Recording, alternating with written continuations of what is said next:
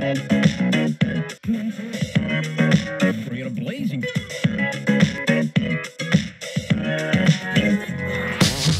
there, I'm Katie, and I've just started as the next generation intern and finance assistant here at New Community. Today I'm going to be taking you guys through everything that's going on around our community at the moment.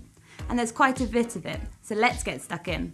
It was great to see some of you at our first in person gathering back at Central Hall last Sunday evening. These are happening every Sunday at 6:30 on a 6-week trial basis. If you're planning on coming along tonight, make sure you've signed up beforehand via our website or the link in your email and don't forget your mask. Billy will be expanding a little more on our vision and we'll have front-led worship and space for prayer and the prophetic.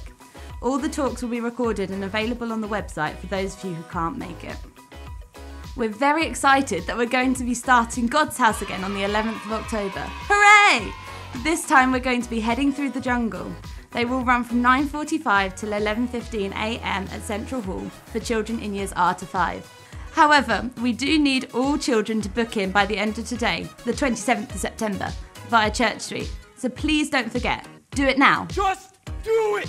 While you're signing up for God's House, you can also register your child for our new Trailblazers Connect group. We're going to be trialling a Connect group for children in year 3 to 5 on Thursday the 1st and 15th of October. It will run from 6:15 to 7:30 p.m. at Central Hall. Again, we need you to sign up to this by the end of today, the 27th of September, via ChurchSuite. Don't miss out. Some new appointments to announce this week. Our resident Captain America lookalike, Alex Sheen, has now formally been appointed as a trustee. And tomorrow, Rachel Comer will start her new role as Community Development Facilitator.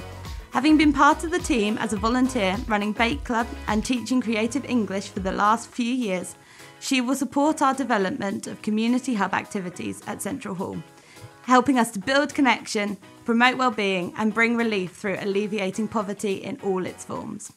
Do pray for both her and Alex as they take on these new roles.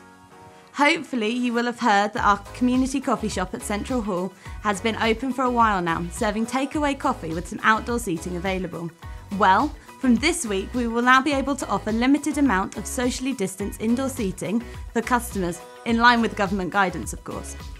You are welcome to come and visit Monday to Thursday, 8am to 3pm.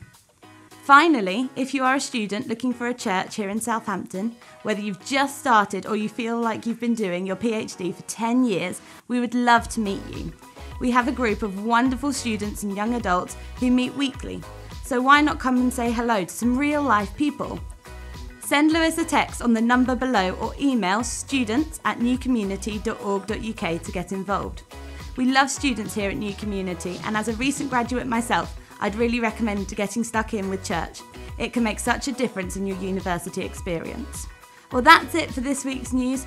If you want a top up during the week, you can find out loads of stuff by visiting our website and following us on all the usual social medias. Bye now!